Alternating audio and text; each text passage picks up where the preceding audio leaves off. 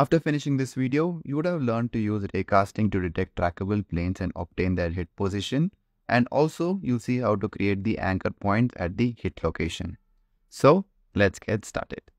Okay, so here we have our Unity project open. So let's go ahead and duplicate our sample scene and call this as anchors. Open it up and let's get rid of the queue. Now the first thing that we want to do here is to select the XR origin and add a component called as AR Raycast Manager. Now you can think of raycasting as something like shooting a laser from your phone and it's to go and hit some point and gather information for you.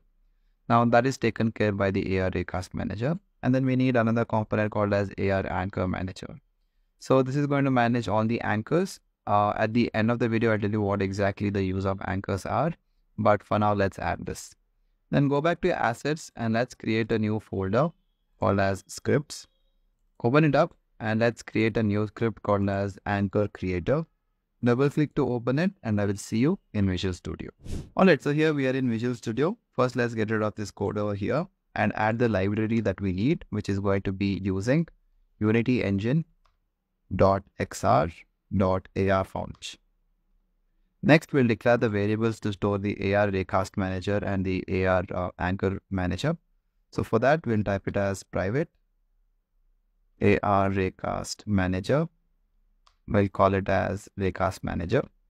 Similarly, we'll create another variable which is private AR Anchor Manager and we'll call this as Anchor Manager. Next, we're going to declare variables to store the raycast hit. So when we use raycast, it's going to hit and provide some information. So we need a variable to store that. Also, we need a variable to store the position on which the raycast has been hit. So for that, we'll create a private list of raycast hits. We'll name the variable as hits and let's instantiate it as well. And then let's create a variable to store the post, which is going to be private pose. We'll call this as hit pose. And finally, we need a variable that can reference a game object that has to be instantiated. In our case, it's an anchor that has to be placed once you once it hits a surface. So for that, we're going to create a serialized field, private game object, and let's call this as anchor prefab.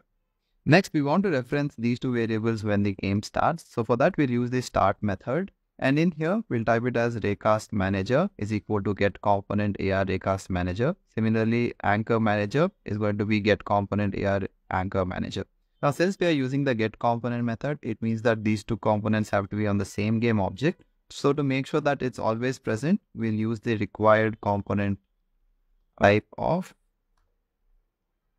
and let's call it as AR Raycast Manager.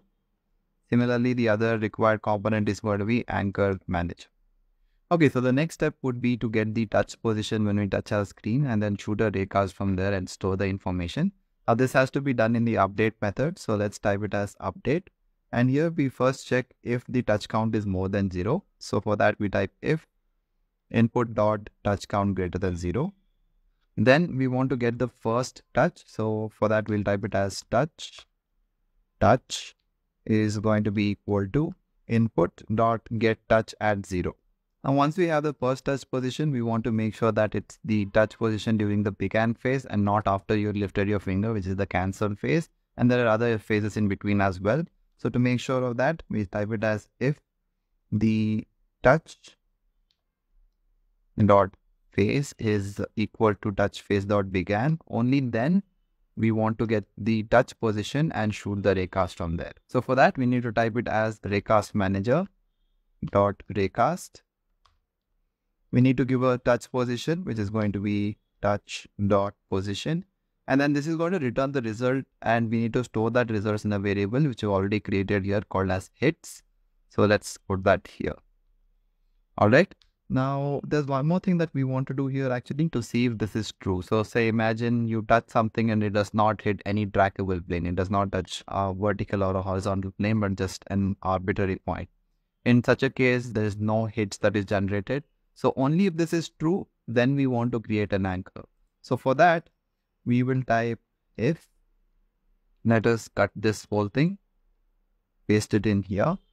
There we go. So if this is true, only if the raycast hit provides a hit, only if it is true, only then we want to handle the raycast hits. So it means that we are going to create another method which is going to be private void and let's call this as handle raycast hits.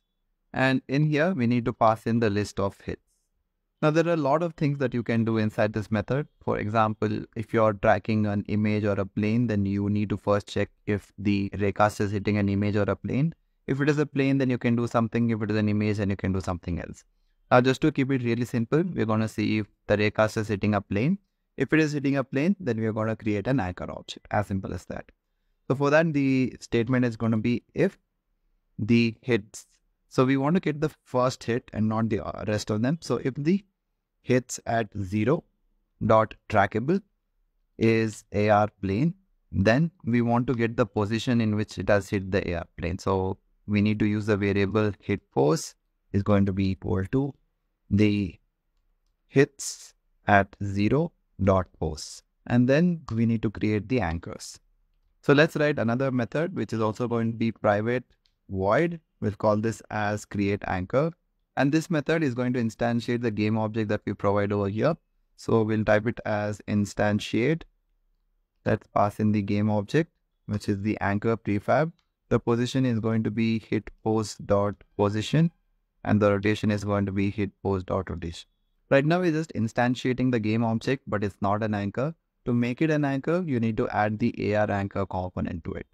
So for that, we need to first assign a variable to this. So we'll call this as anchor object. And then all we need to do is type it as anchor object dot add component AR anchor. Okay, so now that we have the methods ready, let's go ahead and replace the text over here to handle raycast hits. There we go. And then we need to pass in the hits as well. So it's going to be hits. And here, let's change this to create anchor. Alright, so that's about it. Now we can save the script and let's get back into Unity. Alright, so here we are back in Unity. I can select the XR origin game object, add the anchor creator script to this. We need to create the anchor prefab, so let's create that. Let's right click in the hierarchy, create an empty game object. We'll call this as anchor prefab. Inside this, let's right click and create a cube. Scale the cube to 0.01 in all the directions. And we want to reduce it in Z and X axis. So let's uh, make it to 0 0.02 and 0 0.02. And then we want to bring it slightly up as well. So 0 0.05, there we go. This is going to be the y-axis. Similarly, we need to duplicate them and make this into x and z.